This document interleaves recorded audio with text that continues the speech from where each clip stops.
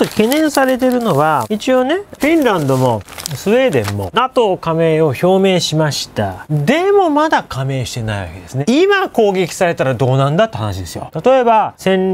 術核がロシアからフィンランドに打ち込まれたら申請するという表明しました。これから申請手続きをして審査があって最終的に入るかどうかを NATO のね、えー、加盟国みんなで協議するわけなんですけども今はまだ加盟してないわけだからじゃあ明日とか明後日撃たれたらどうすんのって話です。明日日明後日撃たれたらまだ加盟してないんで集団的自衛権行使ではいじゃあアメリカが出てきて戦うとかっていうふうになんないですよね。申請中の攻撃受けたらどうするのと。確かにこれはもしプーチンだったら今攻撃したらまだ加盟してないってなりますよね。まあ読みましょう。NATO 加盟を申請した北欧のフィンランドとスウェーデンにとって当面の最重要課題は加盟が承認されるまでの安全保障。両国国の加盟が実現すれば NATO は戦略上重要なバルト海の大部分を取り囲み強固な対ロシア包囲網を構築することになる。対抗措置を警告しているロシアが軍事的圧力を強めたりサイバー攻撃に出たりすることが懸念されている。北欧2カ国が NATO に加盟すれば北極圏から地中海までの加盟国がつながりロシアと加盟国の国境は現在の2倍以上の長さになる。バルト海に面するロシア領カリーニングラードのロシア艦隊拠点を NATO が四方から監視することも可能となる。アメリカシンクタンク CSIS のコリン・ウォール研究員は、ロシアは多くの資源を北西部に割くなど、防衛計画を変更せざるを得ないと分析する。ロシアは警戒感を強めており、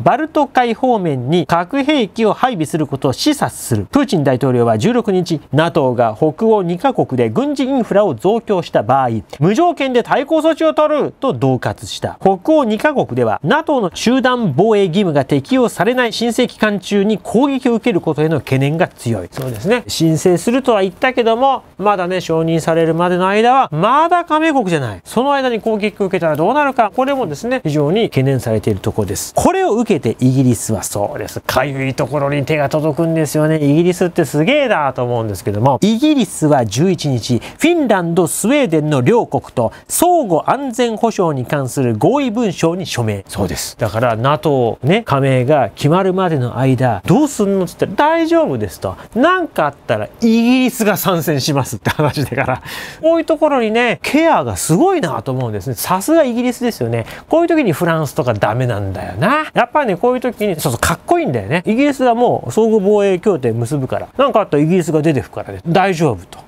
だから申請しなさいというね。そこがやっぱイギリスのかっこいいところ、すごいところですよね。だから私好きなんですよ。北欧のノルウェーとデンマーク、アイスランドは16日、フィンランド、スウェーデンが NATO 加盟前に攻撃された場合には、支援する用意があると表明した。NATO のストルテンベルグ事務総長も、バルト海域への部隊派遣を増強するなど対応を取る方針。ロシアは、そうね、だからバルト海に NATO の船が出るわけですよ。なんかあったら、ね、加盟前だけど NATO だってね、黙ってないぞという姿勢を示すといういうことでしょうね。ロシアはウクライナ侵攻に戦力を集中的に投入しており、他国に戦線を広げる余力は小さいとの見方もある。だから気をつけなきゃいけないのは戦術核ですよね。だから陸上部隊よなんてやってらんない。だって今もうヒーからヒーヒー言ってますからね。もう無理です。ところが戦術核を撃つぐらいのことは持ってますしね。ピッてやれば撃てちゃうわけですから、そう簡単なもんじゃないですけども。それさえなければ撃っても迎撃される可能性ありますけどもね。まあ、それはちょっと要注ですよね。はい、というわけで NATO